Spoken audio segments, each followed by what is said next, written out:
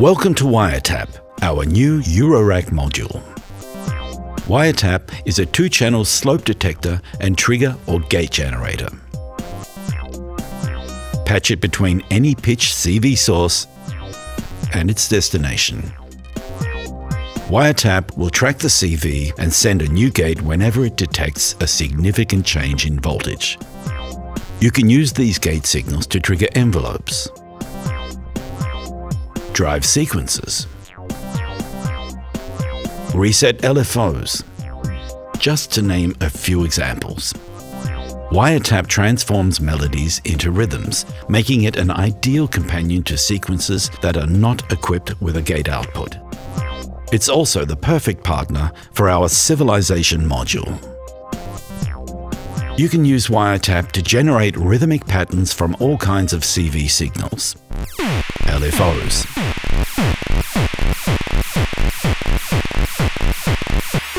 random voltages, or even manually created CVs. Wiretap tracks your CV as you're tweaking the controls and creates gate signals to match in real time. Let's take a closer look at the main features and make good use of all those trigger signals. Wiretap's two channels are arranged vertically. Each channel has its own CV input, so two signals can be processed independently. Input 2 is normaled to input 1 with nothing plugged into input 2, the signal from input 1 will be used for both channels. Each channel has a through jack carrying a copy of the unprocessed input signal. This way, the original pitch CV can be forwarded to its destination without the need for an extra multiple. Handy. Here, we have a step sequencer patched into channel 1, providing the pitch CV for our bassline. Another step sequencer feeding channel 2 with the pitch CV for our chord sequence. Let's add some randomness to the sequences to make them a little less repetitive.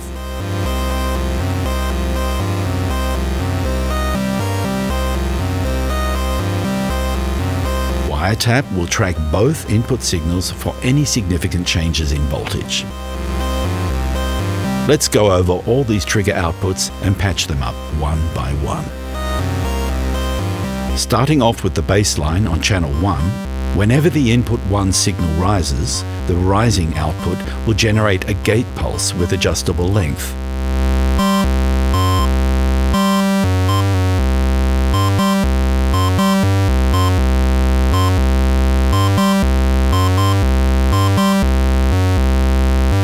Let's patch this gate signal into the VCO's FM input, momentarily transposing it up by one octave whenever the pitch CV rises. The rising output works both for stepped CV and slewed CV, as in portamento.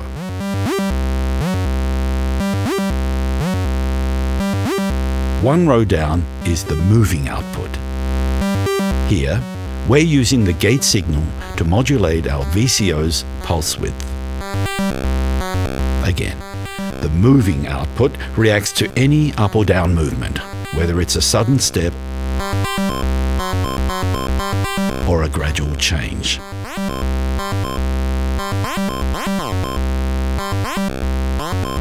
Next, we have a comparator circuit tracking the amplitudes of the input 1 and input 2 signals. The higher output on the left triggers when the input 1 voltage is higher than input 2. Simple as that. In this patch, we're using the higher output to trigger a snare drum sample.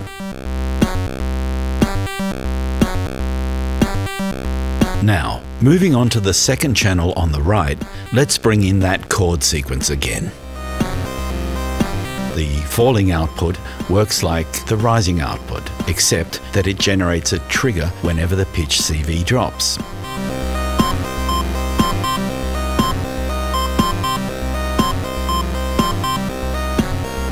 We're feeding this trigger into our CVilization module, driving a sequence that's modulating the synth model in Plaits.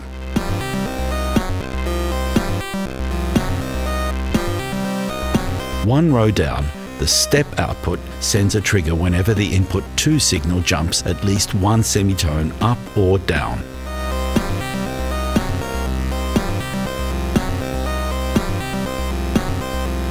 In our patch, we're using this signal to trigger a hi-hat sample. The lower output sends a trigger when input 1 is lower than input 2. We're using the lower output to trigger our kick drum.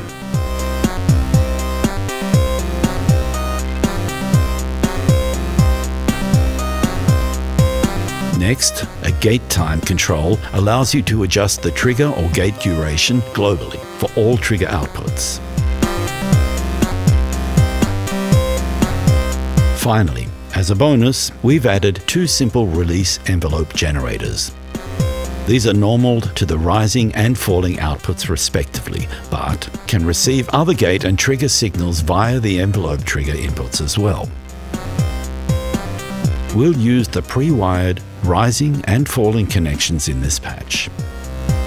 Let's use envelope 1 to modulate our bassline's low-pass filter each time the pitch rises.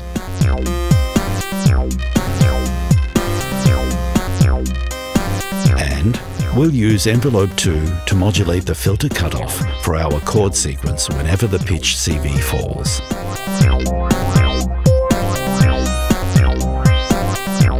The release time knob controls how long the envelopes take to fade out.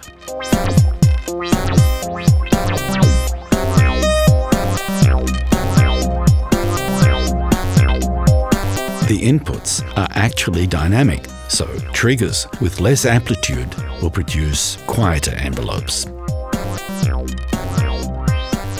On the back of the module, a set of jumpers allows you to activate and customize a special clocked operation mode. We'll look into this feature in another video. That's about it for basic functionality. We've got more videos with in-depth musical examples and special tricks. So don't miss out. Bye for now.